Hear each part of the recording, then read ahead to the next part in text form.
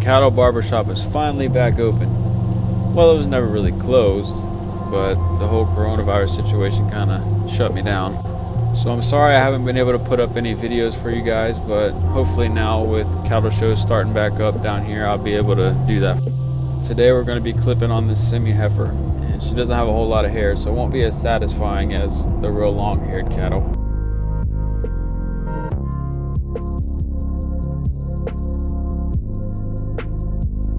Probably the most important tip I can give you if you're a beginner trying to clip the back would be clip it the same direction that the hair is going, which should be forward. It might take you a bit longer, but it's going to turn out smoother in the end.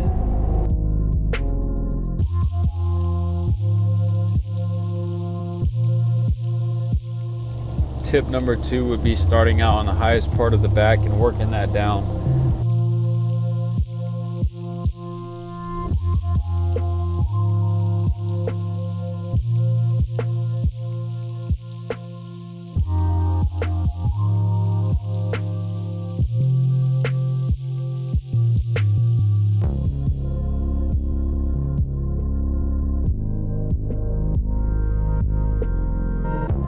Also, in the cattle arm profile, you're going to be looking at this side of the back more than the other side. So you definitely want to make sure you get all this side leveled down even more than the other side. I'm not saying to not clip this side of the back at all, but it doesn't need to be done as much. But it still needs to be clipped enough to where when you get around behind the animal and look down the top, that they still look square.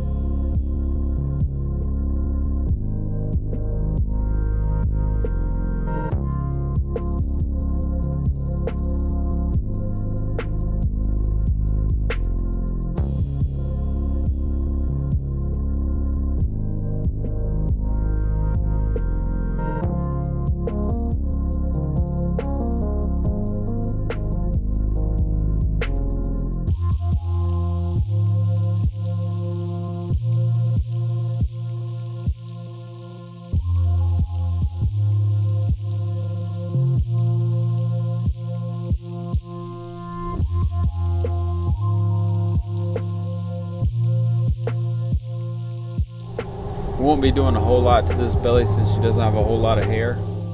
The main thing we want to do here is cut all the hair out from under the brisket so we help the girth out and drop it down a little bit by doing that. And then we want to take out some more hair underneath the center of her belly.